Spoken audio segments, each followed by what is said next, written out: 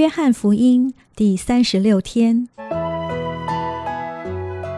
每日亲近神，这圣经能使你因信基督耶稣有得救的智慧。但愿今天你能够从神的话语里面亲近他，得着亮光。约翰福音十五章十八至二十七节，属神的人。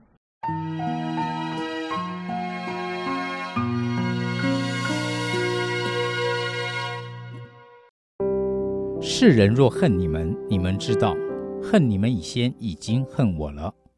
你们若属世界，世界必爱属自己的。只因你们不属世界，乃是我从世界中拣选了你们，所以世界就恨你们。你们要纪念我从前对你们所说的话：仆人不能大于主人。他们若逼迫了我，也要逼迫你们；若遵守了我的话，也要遵守你们的话，但他们因我的名要向你们行这一切的事，因为他们不认识那差我来的。我若没有来教训他们，他们就没有罪；但如今他们的罪无可推诿了。恨我的也恨我的父。我若没有在他们中间行过别人未曾行的事，他们就没有罪。但如今连我与我的父。他们也看见，也恨恶了。这要应验他们律法上所写的话，说：他们无故的恨我。但我要从父那里差保会师来，就是从父出来真理的圣灵。他来了，就要为我做见证。你们也要做见证，因为你们从起头就与我同在。这段经文中，耶稣提到世人都恨他，只因他不属于这世界。如果有一天世人也开始恨这些门徒，那代表门徒也不属这世界，而属乎基督了。门徒被耶稣从世界中特别拣选出来，为的就是在耶稣离开世界之后，继续传扬天国的福音，把属天的国度带到这个地上来。但是，当门徒也不属乎世界的时候，耶稣已经预告了世界将会排斥这些门徒。门徒虽然跟随耶稣三年多，但世界的力量也不容小觑。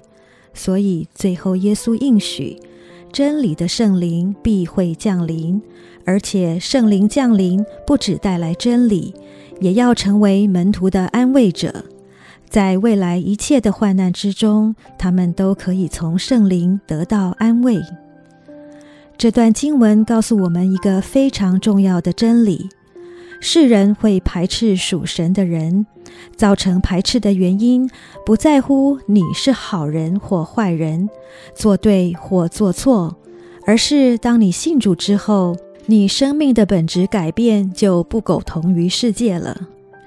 一般人生命的本质是属世界的，是被这个世界所管辖、所控制的；但基督徒生命的本质是属天的，是超越这世界，进入了一个更高的层次。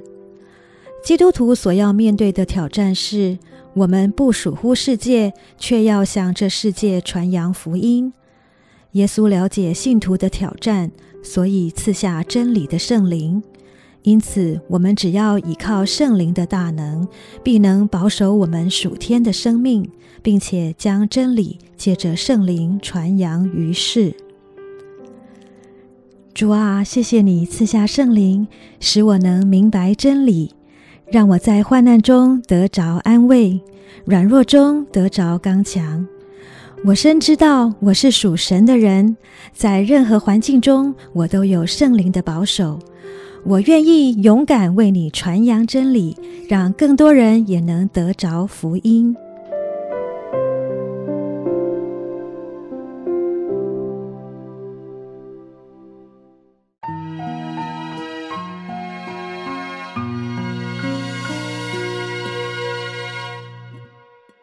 导读神的话，《约翰福音》十五章十九节。